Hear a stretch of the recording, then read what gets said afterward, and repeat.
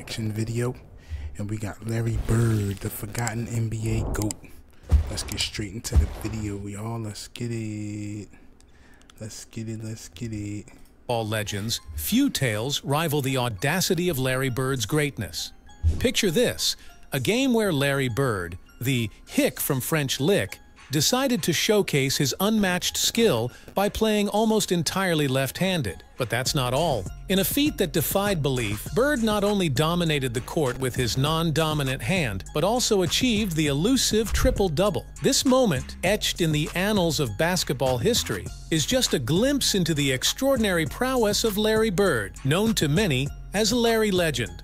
But was Bird truly as good as the legends suggest? Born in West Baden Springs, Indiana, Larry Bird's journey to basketball greatness was anything but ordinary. From his humble beginnings to his meteoric rise in the NBA, Bird's story is one of perseverance, determination, and unparalleled skill. Growing up in French Lick, Indiana, Bird faced adversity from a young age, but it was on the basketball court where he found solace and sanctuary. Bird was born in West Baden Springs, Indiana, to Georgia and Claude Joseph Joe Bird, a veteran of the Korean War. Bird's parents were of Irish, Scottish, and some Native American descent. He has four brothers and a sister. He was raised in nearby French Lick, where his mother worked two jobs to support Larry and his five siblings. Bird has said that being poor as a child still motivates him to this day. Georgia and Joe divorced when Larry was in high school, and Joe died by suicide about a year later. Larry used basketball as an escape from his family troubles, starring for Springs Valley High School and averaging 31 points, 21 rebounds, and 4 assists as a senior on his way to becoming the school's all-time scoring leader. According to Bird, he grew up as a huge fan of the Indiana Pacers in the American Basketball Association, ABA, and the 619 center Mel Daniels, who represented his first exposure to professional basketball. Bird's youngest brother, Eddie Bird, also played basketball at Indiana State University, where Daniels would coincidentally become an assistant coach to the young Larry once he played there. After a brief stint at Indiana University. Bird found his home at Indiana State University where he captured the nation's attention with his remarkable talent. Bird received a scholarship to play college basketball for the Indiana Hoosiers under head coach Bob Knight in 1974. After less than a month on the Indiana University campus, he dropped out of school, finding the adjustment between his small hometown and the large student population of Bloomington to be overwhelming. He returned to French Lick, enrolling at Northwood Institute, now North Northwood University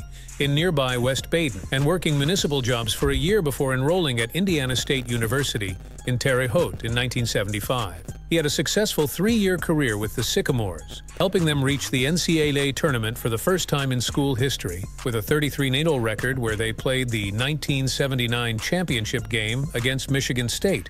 Indiana State lost the game 75-64, with Bird scoring 19 points but making only 7 of 21 shots. The game achieved the highest ever television rating for a college basketball game, in large part because of the matchup between Bird and Spartans point guard Earvin Magic Johnson, a rivalry that lasted throughout their professional careers. Despite failing to win the championship, Bird earned numerous year-end awards and honors for his outstanding play, including the Naismith College Player of the Year award. For his college career, he averaged 30.3 points, 13.3 rebounds, and 4.6 assists per game, leading the Sycamores to an 81-13 record during his tenure. Bird also appeared in one game for the baseball team, going 1 for 2 with 2 RBI. He graduated in 1979 with a Bachelor of Science degree in physical education, transitioned to Larry Bird's NBA career with the Boston Celtics. But it was in the hallowed halls of the NBA where Larry Bird truly became a legend. A 12-time NBA All-Star, Bird's impact on the game was undeniable. Bird was selected by the Boston Celtics with the sixth overall pick in the 1978 NBA Draft. He did not sign with the Celtics immediately. Instead, he played out his final season at Indiana State and led the Sycamores to the NCAA title game. Celtics general manager Red Auerbach publicly stated that he would not pay Bird more than any Celtic on the current roster but Bird's agent Bob Woolf told Auerbach that Bird would reject any sub-market offers and simply enter the 1979 draft instead, where Boston's rights would expire when the draft began on June 25th and Bird would have been the likely top pick. After protracted negotiations, Bird inked a five-year, $3.25 million contract with the team on June 8th, making him the highest-paid rookie in sports history. Shortly afterwards, NBA draft eligibility rules were changed to prevent teams from drafting players before they were ready to sign, a rule known as the Bird Collegiate Rule. In his rookie season, 1979-80, Bird immediately transformed the Celtics into a title contender. The team improved its win total by 32 games from the year before he was drafted and finished first in the Eastern Conference with averages of 21.3 points, 10.4 rebounds, 4.5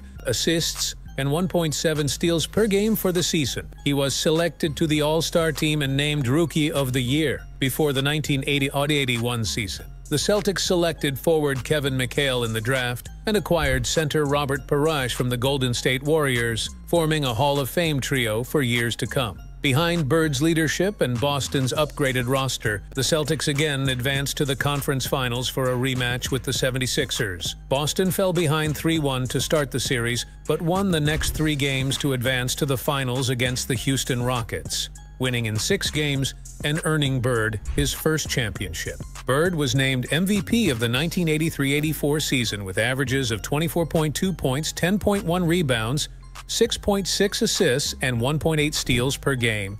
In the playoffs, the Celtics avenged their loss from the year before to the Bucks, winning in five games in the conference finals to advance to the finals against the Los Angeles Lakers. Bird was named Finals MVP behind 27.4 points, 14 rebounds, and 3.6 assists per game, with averages of 25.8 points, 9.8 rebounds, and 6.8 assists and two steals per game Bird became just the third player in NBA history to win three consecutive MVP awards.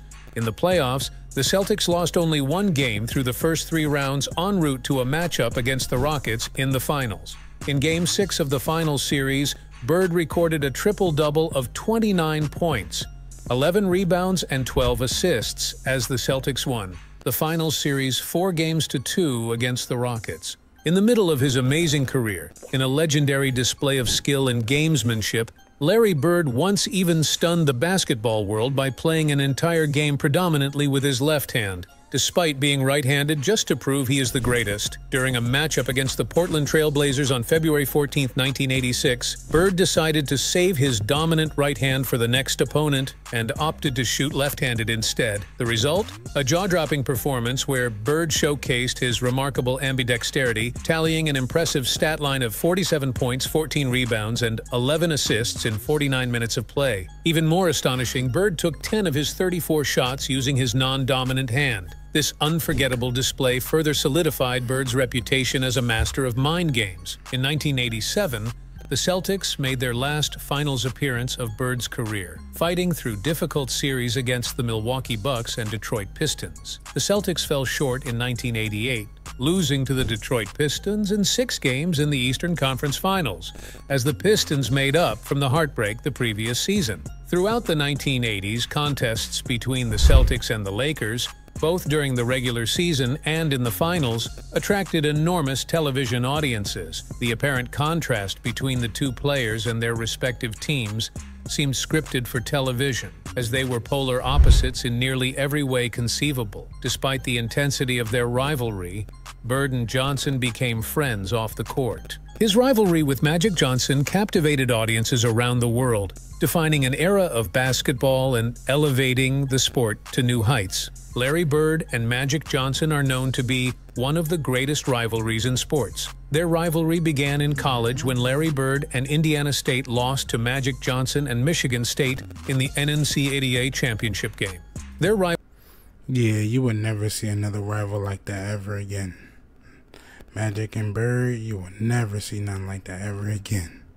rivalry continued in the revived Celtics-Lakers rivalry in the NBA. Either the Celtics, led by Bird, or the Lakers, led by Magic, were present in every NBA Finals series in the 80s, with Bird and Magic meeting three times. Magic got the upper hand against Bird, beating him in 1985 and 1987 while Bird beat Magic in 1984. Journalists speculated that Bird and Magic represented different contrasts, such as clashes between Celtics and Lakers, between East and West, and between blacks and whites. But, as one journalist would say, they looked different perhaps. But take a chainsaw to their souls, and they were fraternal, if not identical, friends. Watching Bird play was like watching Magic play, as they both shared this talent that the league had never seen before. They each had charisma, deft shooting touch, extraordinary passing skills, and team-oriented mindset that ignited their team and the crowd. Bird and Magic's presence on the court was only a small part of their contribution to basketball, as their rivalry changed the landscape of the NBA, transforming it from a struggling, barely profitable league into a highly visible financial and marketing dream for teams and players alike. Larry Bird's legacy in basketball is etched in stone. Voted onto the NBA's 50th anniversary all-time team in 1996, and inducted into the Naismith Memorial Basketball Hall of Fame in 1998, Bird's impact on the game is undeniable. He played both the small forward and power forward positions, showcasing versatility matched by few. Universally recognized as one of the greatest basketball players and shooters of all time, Bird's prowess was unmatched. Bird's accolades speak volumes. He was selected to 12 NBA All-Star teams and won three NBA championships with the Celtics, in 1981, 1984, and 1986. Bird's dominance extended beyond team success. He won two NBA Finals MVP awards and clinched three consecutive regular season MVP awards, a feat shared only with Bill Russell and Wilt Chamberlain. Bird's ability to perform under pressure earned him a reputation as one of the foremost clutch performers in NBA history. Statistically, Bird's brilliance shines through, he boasted career averages of 24.3 points per game on a 496 field goal percentage, showcasing his scoring prowess. Bird's accuracy extended to his free throw, shooting, where he boasted an impressive 886 percentage, and his three-point shooting, where he maintained a 376 percentage. His basketball IQ and court vision were evident in his career averages of 10 puzzle rebounds per game and 6.3 assists. Bird's precision was unparalleled. He was the first player in NBA history to achieve a shooting percentage of 50% or better on field goals, 40% or better on three-pointers, and 90% or better on free throws in a single NBA season, achieving this feat twice.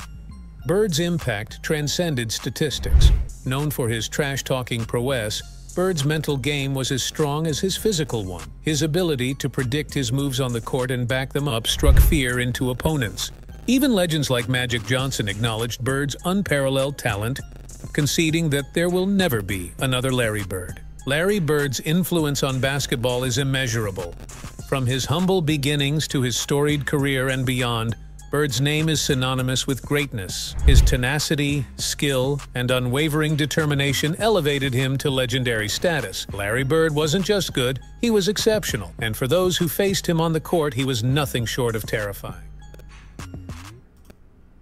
All right, that's Our wraps up guest. this video, y'all. This wraps up this video. But anyway, appreciate all love and support. Uh, Larry Bird is a beast. Larry Bird is a beast, and I don't understand why people don't give him credit. But anyway, uh, another question I wanted to ask y'all: What? How many championships do y'all think Larry would win if he was with uh, Paul Pierce, Kevin Garnett, and Rondo? I don't know. I think they would win a lot if that was possible, like if that happened. Anyway, subscribe if you're new, hit that like button, turn on that bell. On to the next video. Appreciate y'all so much. I'm out of here. Love y'all so much. Peace.